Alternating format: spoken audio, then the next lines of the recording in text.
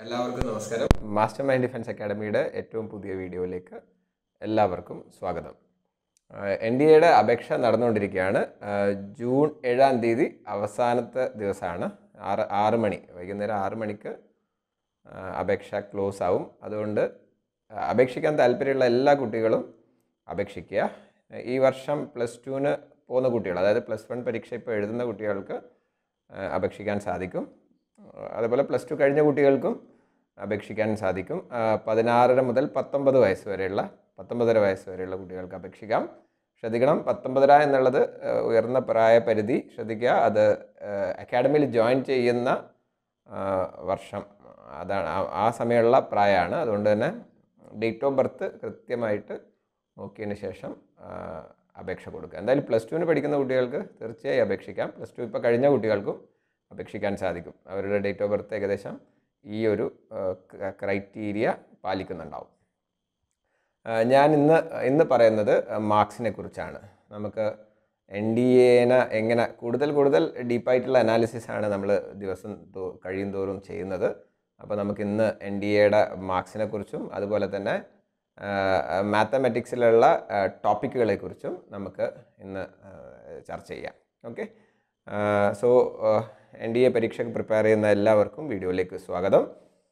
നമുക്കറിയാം രണ്ട് സെഷനായിട്ട് നടത്തുന്ന പരീക്ഷയാണ്. ഒരു ദിവസം ഒരു ദിവസത്തെ പരീക്ഷ രണ്ടര മണിക്കൂറിന്റെ രണ്ട് സെഷൻസ് അതായത് അഞ്ച് മണിക്കൂർ നീണ്ടു നിൽക്കുന്ന പരീക്ഷയാണ് എൻ ഡി എ പരീക്ഷ.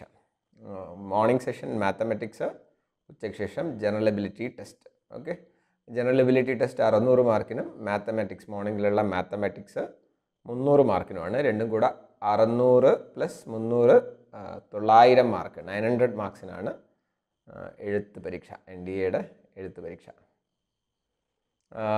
ഇതിന്റെ കൂടെ എൻ ഡി എ ക്ലിയർ ചെയ്യുന്ന കുട്ടികൾക്ക് അല്ലെങ്കിൽ കട്ട് ഓഫ് ക്ലിയർ ചെയ്യുന്നവർക്ക് സർവീസ് സെലക്ഷൻ ബോർഡ് ഇന്റർവ്യൂ എന്ന അഞ്ച് ദിവസത്തെ ഓഫീസേഴ്സ് സെലക്ഷൻ ഇന്റർവ്യൂ അല്ലെങ്കിൽ സർവീസ് സെലക്ഷൻ ബോർഡാണ് ഒരു ഓഫീസറിനെ സെലക്ട് ചെയ്യണോ റിജക്റ്റ് ചെയ്യണോ എന്ന് തീരുമാനിക്കുന്നത്.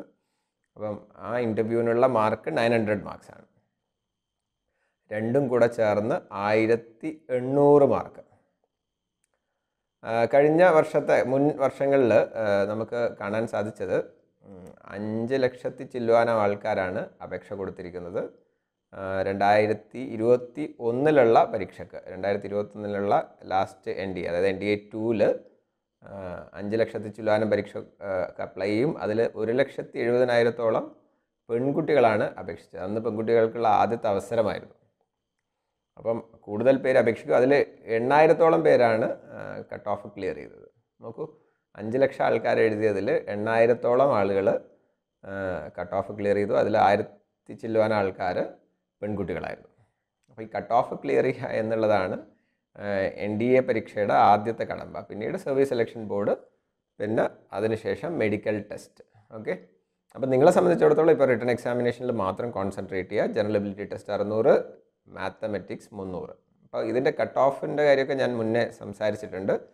എന്നിരുന്നാലും അപ്പോൾ ടോട്ടൽ ആയിരത്തി എണ്ണൂറ് മാർക്കിനാണ് നിങ്ങളുടെ written examination I mean total marks ഉള്ളത്. ആയിരത്തി എണ്ണൂറ് മാർക്ക്. ഓക്കെ? അതിൽ നമുക്ക് എങ്ങനെയൊക്കെയാണ് അതിന്റെ ഡിസ്ട്രിബ്യൂഷൻ നമുക്ക് നോക്കാം. നമുക്കറിയാം മാത്സ് മുന്നൂറ് മാർക്ക് ജനറൽ എബിലിറ്റി ടെസ്റ്റ് അറുന്നൂറ് മാർക്ക്. ഇനി ഇതിൽ മാത്തമെറ്റിക്സിന്റെ മാർക്കിനെ കുറിച്ച് നമുക്ക് കൂടുതൽ ആയിട്ട് ഡിസ്കസ് ചെയ്യാം. മാത്തമെറ്റിക്സിൽ ഈ മുന്നൂറ് മാർക്ക് എന്ന് പറയുന്നത് നൂറ്റി ഇരുപത് ക്വസ്റ്റ്യനാണ് നൂറ്റി ഇരുപത് ക്വസ്റ്റ്യന്റെ വെയിറ്റേജ് എന്താണ് ടോപ്പിക് വൈസ് എന്നുള്ളതാണ് നമ്മളിന്ന് ചർച്ച ചെയ്യുന്നത്. അത് അറിഞ്ഞു കഴിഞ്ഞാൽ വളരെ ഇമ്പോർട്ടന്റ് ആണ്. എന്താണ് ഇതിന്റെ ഇമ്പോർട്ടൻസ് എന്ന് വെച്ചാൽ ഇതിൽ എൻ ഡി എ ക്ലിയർ ചെയ്യുന്നത് കട്ട് കട്ട് ഓഫ് ക്ലിയർ ചെയ്യുന്നതിൽ പ്രധാനപ്പെട്ട ഒരു കാര്യം എന്താണെന്ന് വെച്ചാൽ ഈ മാത്തമെറ്റിക്സിലുള്ള സ്കോറാണ്. കട്ട് ഓഫ് ക്ലിയർ ചെയ്യുന്നതിൽ പ്രത്യേക ക്രൈറ്റീരിയ ഉണ്ട്. അതായത് ഓരോ വിഷയത്തിലും ഇരുപത്തഞ്ച് ശതമാനം മാർക്കെങ്കിലും മിനിമം വാങ്ങിച്ചിരിക്കണം. അതായത് മാത്തമെറ്റിക്സിൽ ഇരുപത്തഞ്ച് ശതമാനം മുന്നൂറിന്റെ ഇരുപത്തഞ്ച് ശതമാനമായിട്ടുള്ള എഴുപത്തഞ്ച് മാർക്കെങ്കിലും വാങ്ങിക്കണം. അതുപോലെ ജനറൽ എബിലിറ്റി ടെസ്റ്റിൽ മുന്നൂറ് അറുന്നൂറിൽ അതിന്റെ ഇരുപത്തഞ്ച് ശതമാനമായ നൂറ്റി അമ്പത് മാർക്കെങ്കിലും വാങ്ങിച്ചിരിക്കണം. നൂറ്റമ്പതും എഴുപത്തഞ്ചും മാത്രം മാർക്ക് വാങ്ങിച്ചാൽ നിങ്ങൾ കട്ട് ഓഫ് ഒന്നും ക്ലിയർ ചെയ്യില്ല. പക്ഷേ ഇത് മിനിമം ക്രൈറ്റീരിയ ആണ്. കട്ട് ഓഫിന്റെ മാർക്ക് ഏകദേശം മുന്നൂറ്റമ്പതിന് മുകളിലാണ് മാർക്ക് ഓക്കെ മുന്നൂറ്റമ്പതിന് മുകളിൽ സ്കോർ ചെയ്യുകയും ചെയ്യണം. ഈ individual criteria mark subject wise twenty five percentage എന്നുള്ള ക്രൈറ്റീരിയ പാലിച്ചിരിക്കുകയും ചെയ്യണം. അവിടെയാണ് നമ്മുടെ കുറച്ച് ഇതിന് ഈ പരീക്ഷ എഴുതുന്നവർ കുറച്ചുകൂടെ ശ്രദ്ധ ചെലുത്താനുള്ളത്. ഇതൊക്കെ നിങ്ങൾക്ക് നിങ്ങളാണ് പഠിക്കുന്ന കുട്ടികൾ. ഇപ്പോൾ നിങ്ങൾക്കായിരിക്കും സബ്ജക്റ്റിൽ കൂടുതൽ നോളജ് പക്ഷെ എന്നിരുന്നാലും ഈ- ഒരു അനാലിസിസോട് കൂടെ നിങ്ങൾ പരീക്ഷ ഈ ഒരു ഐഡിയോട് കൂടെ പരീക്ഷയ്ക്ക് പോയാലേ ക്ലിയർ ചെയ്യാൻ സാധിക്കുള്ളൂ. എഴുപത്തഞ്ച് മാർക്ക് വാങ്ങിക്കാന്ന് വെച്ചാൽ ഇപ്പോൾ പോട്ടെ ഒരു മുന്നൂറിൽ നൂറ് മാർക്കിന് നിങ്ങൾ എയിം ചെയ്യുക. മുന്നൂറിൽ നൂറ് മാർക്ക് അതായത് മൂന്നിൽ ഒരു ഒരു ഒരു ഭാഗമെങ്കിലും നിങ്ങൾ സ്കോർ ചെയ്യണം. നൂറ് മാർക്ക് ലഭിക്കണമെങ്കിൽ നാൽപ്പതോളം ക്വസ്റ്റ്യൻസ് ശരിയാക്കണം. കാരണം രണ്ടര മാർക്കാണ് മാത്തമാറ്റിക്സിലുള്ളത്. ഇത് വളരെ പ്രധാനപ്പെട്ടതാണ്. കാരണം മാത്തമാറ്റിക്സിലുള്ള ഓരോ ക്വസ്റ്റ്യന്റെ മാർക്ക് രണ്ടര മാർക്കും ജനറൽ എബിലിറ്റിയിലുള്ള ക്വസ്റ്റ്യന്റെ മാർക്ക് നാല് മാർക്കുമാണ്. നൂറ്റി ഇരുപത് ക്വസ്റ്റിനും നൂറ്റമ്പത് ക്വസ്റ്റിനുമാണ് അപ്പോൾ ഉച്ചയ്ക്ക് ശേഷം നടക്കുന്ന പരീക്ഷ കമ്പാരിറ്റീവ്ലി എളുപ്പമായിരിക്കും. അതിൽ കൂടുതൽ മാർക്കും സ്കോർ ചെയ്യാൻ പറ്റും.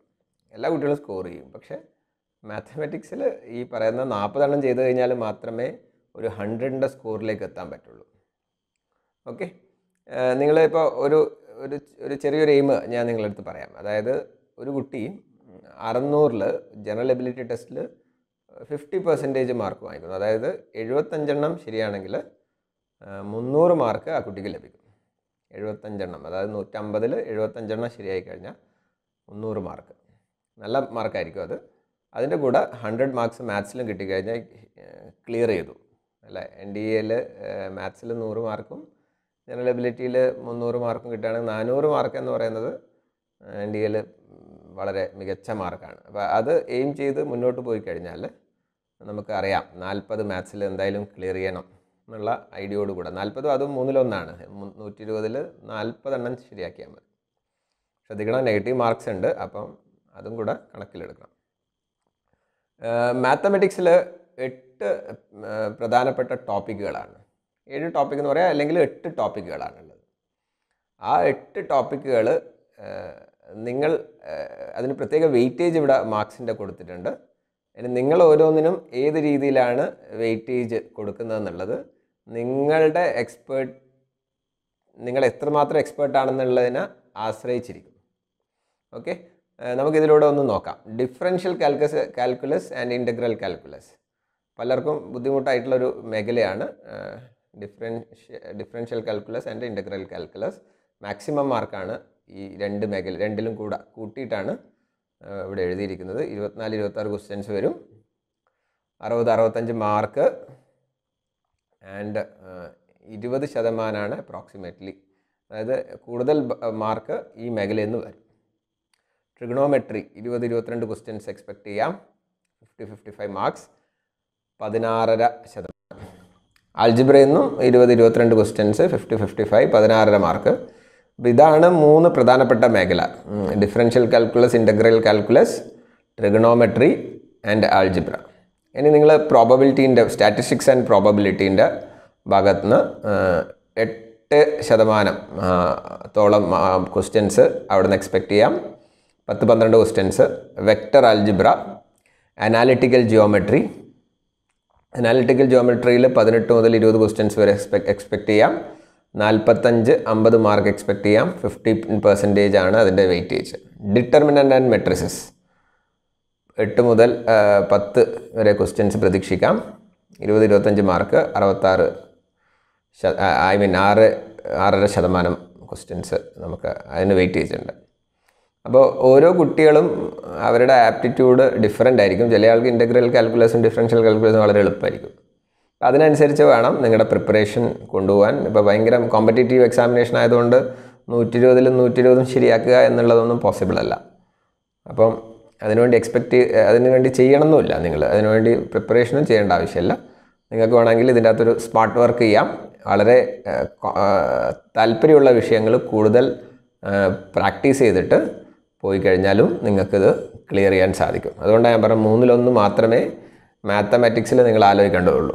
ബാക്കിയെല്ലാം തന്നെ നിങ്ങൾക്ക് ജനറൽ എബിലിറ്റി ടെസ്റ്റിൽ നിങ്ങൾക്ക് പിടിക്കാൻ പറ്റും. കാരണം അതിൽ അവിടെ ഇംഗ്ലീഷ് ആയാലും മറ്റുള്ള ജനറൽ നോളജിലും ഒക്കെ തന്നെ നിങ്ങൾക്ക് കൂടുതൽ സ്കോർ ചെയ്യാൻ പറ്റും. ഇരു ഇംഗ്ലീഷിൽ ഇരുന്നൂറോളം മാർക്കുണ്ട് അവിടെ ഇംഗ്ലീഷിൽ കമ്പാരിറ്റീവ്ലി എളുപ്പമാണ്. General ability test okay so ഇതിനുള്ള ഒരു ഫണ്ട് എന്താണെന്ന് വെച്ചാൽ നിങ്ങൾ പ്രിപ്പയർ ചെയ്യുന്ന സമയത്ത് നിങ്ങൾക്ക് വളരെ കംഫർട്ടബിൾ ആയിട്ടുള്ള ഏരിയയിൽ നിന്ന് നന്നായി പ്രാക്ടീസ് ചെയ്യുക കൂടുതൽ ക്വസ്റ്റ്യൻസ് ചെയ്യുക പ്രീവിയസ് ഇയർ ക്വസ്റ്റ്യൻസ് ചെയ്യുക പാറ്റേണുകളൊക്കെ തന്നെ എൻ ഡി എന്റെ മാത്തമാറ്റിക്സ് ഫോളോ ചെയ്യാറുണ്ട്. അതുകൊണ്ട് തന്നെ നിങ്ങൾക്ക് അധികം പേടിക്കേണ്ടതില്ല. അപ്പം പ്രിപ്പറേഷനിൽ കൂടുതൽ പ്രാക്ടീസ് കാര്യങ്ങൾ ചെയ്യുക മോക്ക് ടെസ്റ്റുകൾ ചെയ്യാൻ പറ്റുക ചെയ്യാം. Okay so Master Mind Defence Academy ചെയ്യുന്നത് കുട്ടികൾക്ക്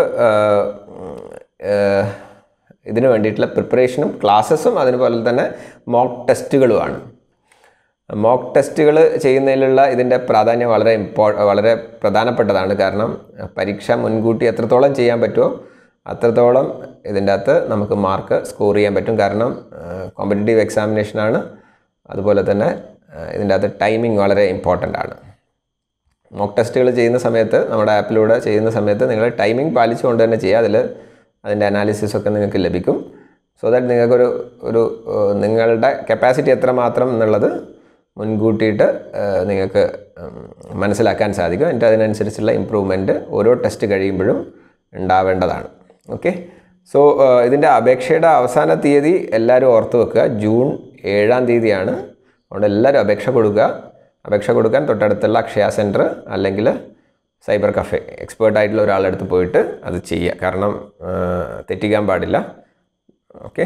സോ അപേക്ഷ കൊടുക്കേണ്ട വെബ്സൈറ്റ് നമ്മൾ ഓൾറെഡി ഡിസ്കസ് ചെയ്തതാണ്. U P S C online dot N I C dot in ഇത് join Indian army dot N I C dot in അല്ല. ഇത് N D A U P S C നടത്തുന്നതുകൊണ്ട് പരീക്ഷയുടെ അപേക്ഷ എവിടെയാണ് പിന്നീട് നിങ്ങൾ നിങ്ങളുടെ എസ് എസ് ബിയുടെ ഡേറ്റും കാര്യങ്ങളൊക്കെ ചെയ്യാൻ വേണ്ടിയിട്ട് മറ്റേതിൽ ജോയിൻ ഇന്ത്യൻ ആർമിയിൽ രജിസ്റ്റർ ചെയ്യേണ്ടി വരും. അത് പിന്നീട് ചെയ്യാം. അതുപോലെ തന്നെ നിങ്ങൾക്ക് ഇനിയിപ്പോൾ അടുത്ത നിങ്ങളുടെ ടെക്നിക്കൽ എൻട്രി സ്കീമൊക്കെ വരുന്ന സമയത്ത് അതിൽ join Indian army dot N I C dot in എന്ന വെബ്സൈറ്റിലാണ് അപേക്ഷിക്കേണ്ടി വരിക. അപ്പോൾ ആ കാര്യങ്ങളൊക്കെ ഞാൻ നിങ്ങളെടുത്ത് പിന്നീട് പറഞ്ഞുതരാം. മറ്റുള്ള എൻ ഡി എ അല്ലാതെ ഓപ്ഷൻസ് എന്തൊക്കെയാണെന്നുള്ളത് നമുക്ക് ആ സമയം ഡിസ്കസ് ചെയ്യാം. അപേക്ഷാ ഫീസ് ഹൺഡ്രഡ് റുപ്പീസ് പെൺകുട്ടികൾക്ക് ഫീസില്ല അപ്പം നമ്മുടെ ക്ലാസ്സിൽ ഓൺലൈൻ ക്ലാസ്സുകളിലും മോക്ക് ടെസ്റ്റുകളിലും പങ്കെടുക്കാൻ വേണ്ടിയിട്ട് നിങ്ങൾക്ക് അക്കാഡമിയുടെ വാട്സപ്പ് നമ്പറിൽ മെസ്സേജ് ചെയ്യാവുന്നതാണ്. WhatsApp number eight nine four three nine zero one two three four. Okay so prepare ചെയ്യുന്ന എല്ലാ വിദ്യാർത്ഥികൾക്കും ഓൾ ദ ബെസ്റ്റ് അടുത്ത അടുത്ത എൻ ഡി എ പരീക്ഷ നിങ്ങൾ ക്ലിയർ ചെയ്യട്ടെ. അതുപോലെ തന്നെ സർവീസ് സെലക്ഷൻ ബോർഡ് ക്ലിയർ ചെയ്യുന്നതോടുകൂടെ ഒരു കമ്മീഷൻഡ് ഓഫീസർ ആവാനുള്ള ആദ്യത്തെ പടി അക്കാഡമിയിൽ ജോയിൻ ചെയ്യുക എന്നുള്ളത് നിങ്ങൾക്ക് സാധ്യമാകട്ടെ. Okay all the best thank you very much Jai Hind.